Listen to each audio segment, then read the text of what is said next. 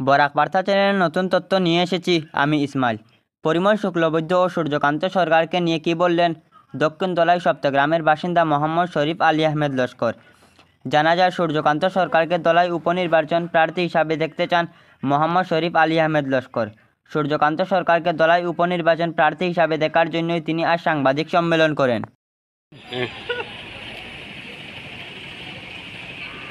আজ কত তারিখ তোমার? চোদ্দ। আজ চোদ্দ, ছয় টু থাউজেন্ড টোয়েন্টি ফোর আজ আমি সাংবাদিকের কাছে একটা বিশেষ প্রতিবেদন পাঠাইতেছি।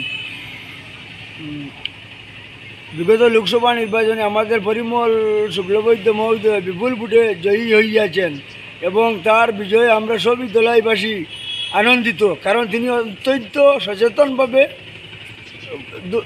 গরিব দুঃখীতে দেখিয়েছেন irrespective of caste and creed জাতি ধর্ম নির্বিশেষে সবাইকে দান, বিতরণ বা এমনকি সামাজিক বিচার ব্যবস্থা সবগুলিতে তিনি ভালো কাজ করিয়েছেন। এবং তার বিজয়ে আমরা খুবই আনন্দিত। এবং বর্তমানে দলাই কনস্টিটিউয়েন্সির উপনির্বাচন হবে বিধানসভায়।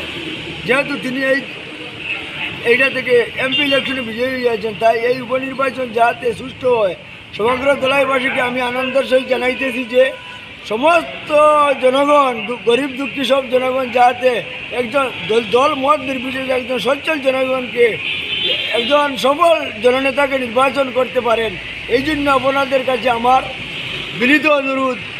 ডক্টর মোহাম্মদ শরীফুদ্দিন আলী আহমেদ লস্কর বগবাজার কই না আমি অ্যাডভোকেটও করি অজ্ঞ করি সকলটা করি। অ্যাডভোকেট নেই। I am a I am a advocate and GRS and private tutor of PAM regions. আচ্ছা। Boy হইয়া এখন বর্তমানে সব দল থেকে বিভিন্ন ক্যান্ডিডেট ট্রাই করতেছেন কিন্তু আপনারা এই যে কান দিবেন না একজন ভালো ক্যান্ডিডেটকে যে কোনো দলের আপনারা জাতি ধর্ম বর্ণ নিরা- নির্বিশেষে irrespective of caste and creed mm. and religion, all of the candidates will be selected in a various working person. Sure. At the constituency of sub-election, the location is village of Saptagram. At the Gram of Saptagram,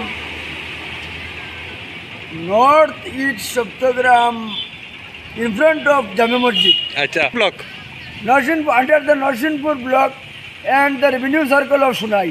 আচ্ছা আর বর্তমান ইলেকশনে যে কংগ্রেস প্রার্থী সূর্যকান্ত সরকার ভুল ফুটে পরাজিত হয়েছে তাকে আমি ধন্যবাদ জানাই।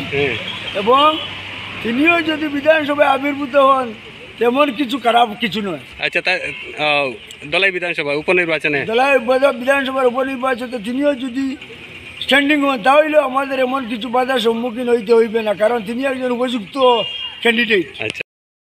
ভিডিওটি ভালো লাগলে চ্যানেলটি সাবস্ক্রাইব করবেন এবং ফেসবুক পেজটি ফলো করে ভিডিওটি সবার কাছে শেয়ার করবেন। ধন্যবাদ।